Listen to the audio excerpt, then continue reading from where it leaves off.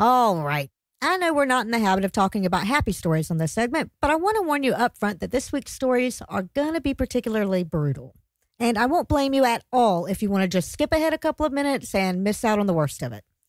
And time to do that is running out fast because our first story is about a man decapitating his child. So, this is the horrible and tragic story of Romina Ashrafi, an Iranian teenager murdered by her father who will, at most, spend 10 years in prison for this heinous and premeditated crime. But her story doesn't start being horrible then by any means. The 14 year old had drawn an online reputation for pushing back against religious strictures with incendiary shit like letting her hair show from behind her face veil and posting pictures of her online in jeans and a t shirt. When her dad found out, in addition to all of that, she also had a boyfriend. He called a lawyer and asked what kind of punishment he'd get if he murdered her.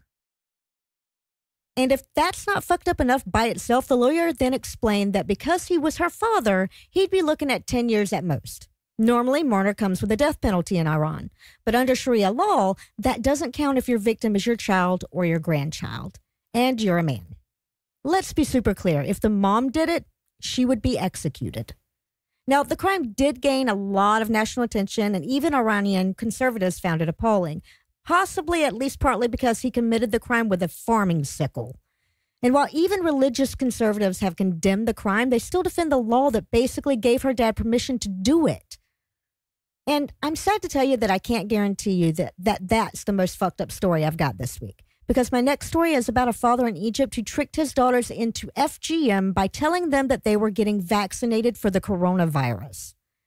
Now, to be clear, that's illegal in Egypt and has been for a depressingly brief 12 years. So the dad was arrested for this, but that's really only because their mom didn't go along with it. Despite the laws, some experts estimate that as many as half of Egyptian girls are still subjected to this kind of barbarity. And according to the BBC, so far not one single person has been successfully prosecuted under the law. Now, normally after subjecting you to two stories that bad, I try to offer up a little good news to ease you back into the headlines. But I'm afraid the best I can do for you this time around is some less gruesome bad news. It looks like an appeals court just tossed out the challenge Satanists issued against Missouri's bullshit abortion waiting period. The original suit argued that the restrictive law violates the satanic principle that one's body is inviolable and subject only to one's own will, which the law clearly does.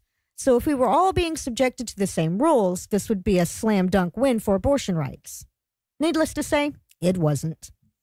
So, with the eternal but unwarranted optimism that maybe I'll have some good news to offer up next week, I'll hand things back over to Noah and Heath.